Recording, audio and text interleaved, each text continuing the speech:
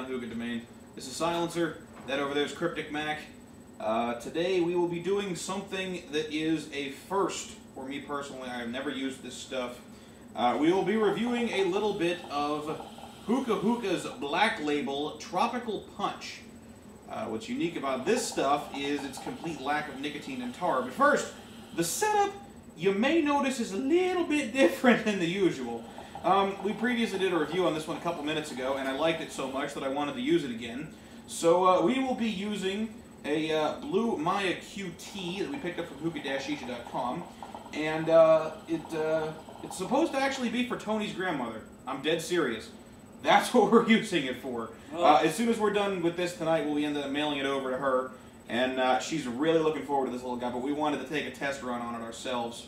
And we're making a um, how-to DVD, you know, how to pack a bowl, how to get the base ready, how to anything hookah, troubleshooting, all that fun stuff because she's never, she's only smoked it once, and she loved it so much she had to have one, so here it is.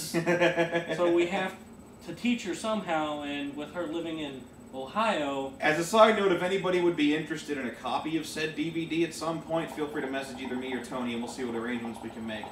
Now, on to the onto the shisha itself. Uh, by the way, standard Mya bowl on here, and as you can see, the world's tiniest windscreen.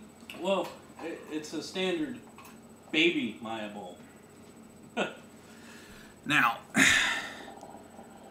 here's our stuff. A little bit of black label. I want to take a minute to point this out. This stuff was sent to us for review by my good friend Jonathan over at Sahara Smoke. Um, that's their logo up there. Uh, they were nice enough to send us this stuff because we expressed some interest in trying this blend of shisha before. As I mentioned a second ago, this is unique because it is the nicotine-free, tar-free, everything-free herbal shisha. Very different. Not actually done with any tobacco of any kind in here. It's done with a variety of Middle Eastern uh, Middle Eastern herbs and spices, I believe. Now, the consistency on it is unique.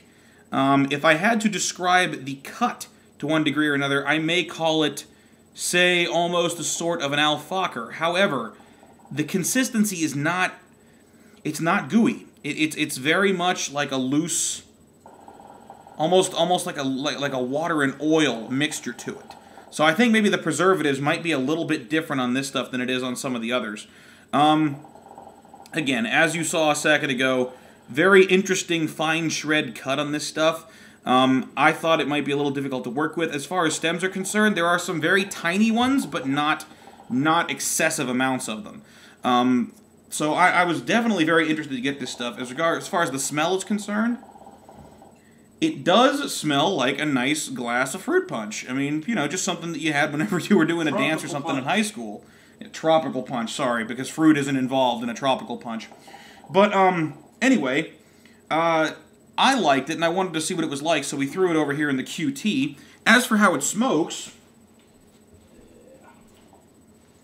oh,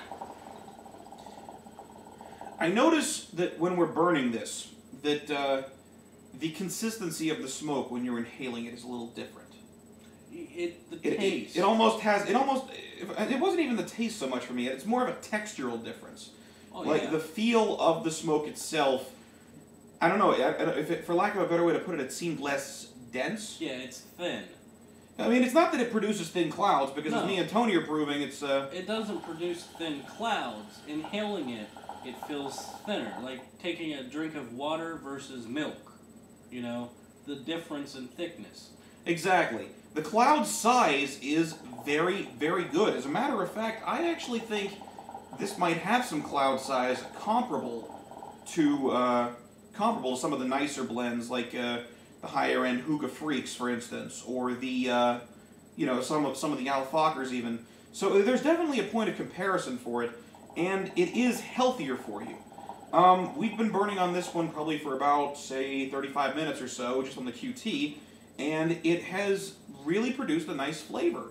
Um, I was surprised by that. You, you can definitely tell that it's a non, uh, that's the best way I'll put it, non uh, kind of shisha, because there you can taste the herbal, you know, the the spices and the uh, whatever they use, you know, to make the tobacco, you can taste. It's pretty good. I mean, it has Or to simulate the tobacco, I guess. yeah, it, it has a very uh, slim, like right at the beginning, it had a really good tropical fruit flavor. Now it's kind of died down, but that the, the all natural flavor, I guess you could call it, It's still coming through. yeah, And see, this this brings in my only one concern about the black label is that I'm afraid that if you're not the most experienced person with heat management and you do allow this stuff to burn, my God, what kind of harsh this would be. well that I mean, uh, that's what I'm concerned with. Is that tobacco harsh? If you ever smoked a cigarette, fine. It, it sucks, but you can get through it. I'm concerned as to what this would be like if we weren't practicing good heat management with the uh, Coconaras here. Um, so if, if we did actually begin the process Yeah. of burning the stuff, I'm concerned as to what it would be well, like. that and to literally take the foil off and look at it, you can't tell really if it's burnt or not because the tobacco is black. Exactly. That- I mean, here's an illustration of, of uh, post burning this bowl, what it looks like up on the screen. Um, as you saw a second ago, the stuff's black to begin with. So outside of getting in there with the field test and determining what's crunchy and what's still moist, it would be a little tricky to determine that. However, um, insofar as the smokability of it is concerned, it makes nice clouds. Uh, it may not feed your nicotine addiction, but how is that a bad thing? Um, all in all, I'd say it's a pretty good smoke. The flavor is, is pretty nice on it, a bit unique. Um, Yeah. I just was looking forward to trying this because it's something very different. Um, It has a very unique flavor. I, for me, I'm a smoker. I hate cigarettes. I know it's contradicting. I, I like smoking, but not cigarettes. I like the ar- the actual act of blowing a cloud. yeah, just smoke. And the flavor on this stuff I really like because, I mean, it doesn't taste like a cigarette, but it kind of does because it's just a different flavor. And I don't know if that'll apply to all the black labels, but we do have four different kinds. Mm-hmm. Compliments to- again of Jonathan. You're my boy. Thank you so much. Thank There's you. his logo again. Um, but uh, if I had to pick a number on this stuff, I, I think it's pretty good. I'm going to go with a solid 8. I think a solid 8 is a good way to qualify I this was going to go 7.5, but 8 will quantify very well. Just because I was going to go with a 7.5 because um, not per se a noob uh, shisha, and, and, but That's true. This is stuff that I want you to mess around with after you've been playing with your hookah for a little while. that and um, it kind of, I mean, it's not harsh, but it's there. Yeah. And, you know, starting off smoking, you don't want that. So Keep in mind though, if you do have someone experienced but they're concerned about getting hooked on nicotine, this stuff is perfect for them. Yeah. Provides the flavor, provides the clouds to have some fun with it, but you don't have to worry about getting stuck on anything. Anyway, I'm Silencer. This guy walking towards you over here is Cryptic Mac. Uh, stay tuned. We'll be back to Mr. Wonderful next time, and we have several more Hookah Freak and Hookah Hookahs on the way. Stay Ooh. tuned. Hold on. Quick run. How is he doing? Oh, God. I just have to show you the table real quick. Laundry. Um, Oh, that's right.